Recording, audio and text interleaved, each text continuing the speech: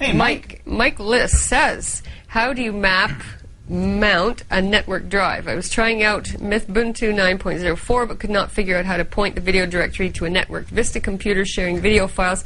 I was able to get Vista MCE working on this machine, but yuck to Vista. Great show. Okay, Mike. Um, there's a few different ways, and I'm not uh, a Mythbuntu guy, but I'm going to assume because it's built on Ubuntu, and you can correct me if I'm wrong. It's going to be pretty similar. Uh, in Ubuntu, there are some GUI tools uh, that are going to let you work pretty easily. There's one on the uh, menu under Places. It's called Connect to Server.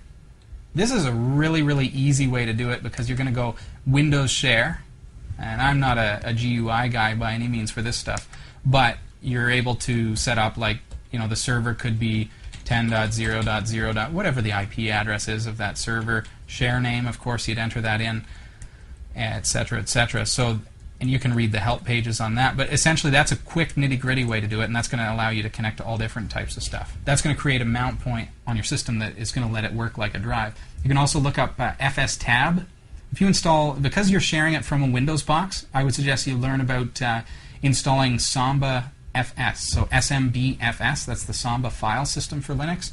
And then get into your FSTab file. You'll be able to actually mount on boot any of your uh, shares on the network because uh, you've got Samba FS installed.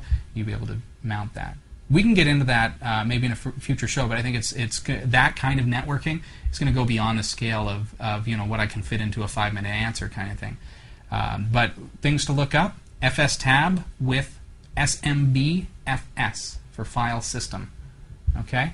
Uh, and then once you've got the share set up on your Windows box, you can actually set it up in FS tab on your Linux box, and it will mount it to your computer. What I've done in the past, what I'll do just to make it super, super easy to, to get everything working, empty out everything in your videos folder on Linux, set that as your mount point. So then anytime a program is referencing the videos folder in your home folder, it's actually the mount point to the server. So it's grabbing it through Samba. That's a cool way to do it. If you're using a, an application like a media center software for, for Linux, which sounds like you are with Myth, uh, it's probably able to look in there. Cool.